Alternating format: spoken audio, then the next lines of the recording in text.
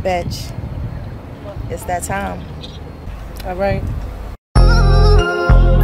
At approximately 4:30 this afternoon, uh, we received a 911 call. Again, nigga? A gunshot. Bitch, nigga? At this time, we do not have any suspect information. I swear to EMS uh, arrived on This scene. is every Uh, fucking unfortunately, they were not able to uh, revive the subject. can't take this shit no more. Here at the location. Fuck out of here, nigga.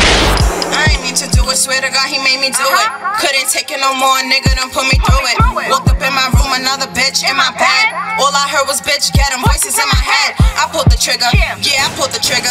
Shot him in the head, had to make sure he was dead. Then I ran up on a bitch and I put it in her mouth. She gets no last words, she already ran her mouth.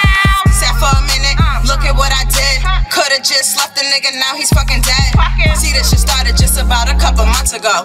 Caught his ass creeping, cheating, running with this hoe. You begged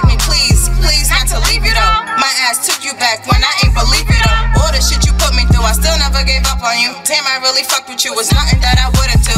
Now you here, laying on the ground, bullet in your head, blood all around. Uh-huh. Don't give a fuck about the consequences after this.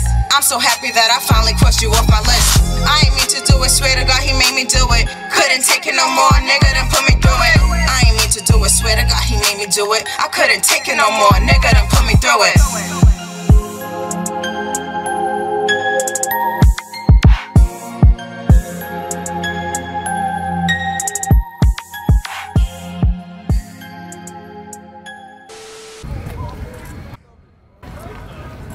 Everything's in there? Passport, everything you need. Perfect. Thank you. Thank you.